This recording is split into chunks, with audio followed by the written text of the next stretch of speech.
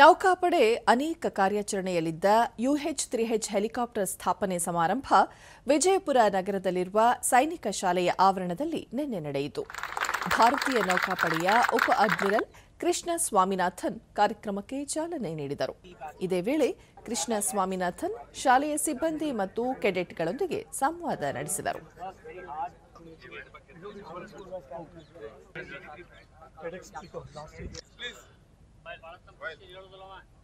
Gentlemen, please smile. Lady, sorry, ladies and gentlemen, please smile.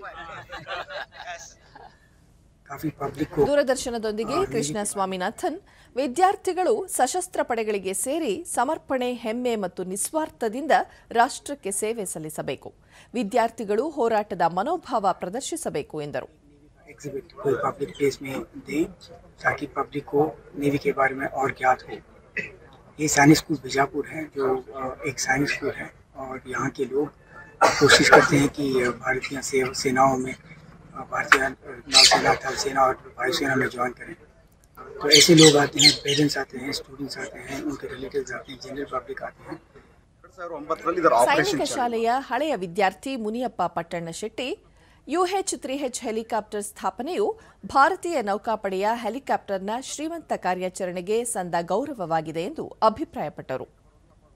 ಯಾವಾಗಾದರೂ ಜನರ ರಕ್ಷಣೆಗೆ ಬೇಕಲ್ಲ, ಆ ಕಾಲದಲ್ಲಿ ಈ ಹೆಲಿಕಾಪ್ಟರ್ನ ಇದು ಯೂಸ್ ಮಾಡ್ತಾರೆ. ಈ ವರ್ಷ ಮಾರ್ಚ್ ಇಪ್ಪತ್ತ ನಾಲ್ಕರಲ್ಲಿ ಇದನ್ನ ಡಿಕಮಿಷನ್ ಮಾಡಿದ್ರು. ಅಲ್ಲಿ ಇಲ್ಲ ಅಂತ ಹೇಳಿ ಸರ್ಕಾರ ಇದು ನಿರ್ಧಾರ ತಗೊಳ್ತು. ಇದು ಓದ್ತಕ್ಕಂಥ ಮಕ್ಕಳಿಗೆ, ಮುಂದೆ ಬರ್ತಕ್ಕಂಥ ಎಲ್ಲ ಮಕ್ಕಳಿಗೂ ಒಂದು ಆದರ್ಶವಾಗಿ ಇದು ಒಂದು ಸ್ಫೂರ್ತಿ ಬರ್ತದೆ. ಯಾರಾದರೂ ಸೇನೆಗೆ ಸೇರ್ಬೇಕಂದ್ರೆ. ನಿವೃತ್ತ ನೌಕಾಪಡೆ ಅಧಿಕಾರಿ ರವಿ ಪಾಟೀಲ್ ಶಾಲೆಯ ಮುಂದಿನ ಪೀಳಿಗೆಯ ವಿದ್ಯಾರ್ಥಿಗಳಿಗೆ ಸ್ಫೂರ್ತಿ ನೀಡುವ ಉದ್ದೇಶದಿಂದ ಹೆಲಿಕಾಪ್ಟರ್ ಸ್ಥಾಪಿಸಲಾಗಿದೆ ಎಂದರು बच्चों को यंग नौजवान है जो स्कूल में है और जो आएंगे उनको मोटिवेशन होगा फौज आर्म फोर्सेस ज्वाइन करने के लिए हमारा देश का आर्म फोर्सेस जो इतना मजबूत है उसको ज्वाइन करने में ये काफ़ी ये मोटिवेशन रहेगा ಸೈನಿಕ ಶಾಲೆಯ ಆವರಣದಲ್ಲಿ ಸ್ಥಾಪಿಸಲಾದ ಯುಎಚ್ ತ್ರೀ ಹೆಚ್ ಹೆಲಿಕಾಪ್ಟರ್ ಎರಡು ಸಾವಿರದ ಏಳರಲ್ಲಿ ಭಾರತೀಯ ನೌಕಾಪಡೆಗೆ ಸೇರ್ಪಡೆ ಮಾಡಲಾಯಿತು. ಎರಡು ಸಾವಿರದ ಒಂಬತ್ತರ ಮಾರ್ಚ್ ಇಪ್ಪತ್ನಾಲ್ಕರಂದು ಮೊದಲ ಬಾರಿ ವಿಶೇಷ ಕಾರ್ಯಾಚರಣೆಗೆ ನಿಯೋಜಿಸಲಾಗಿತ್ತು.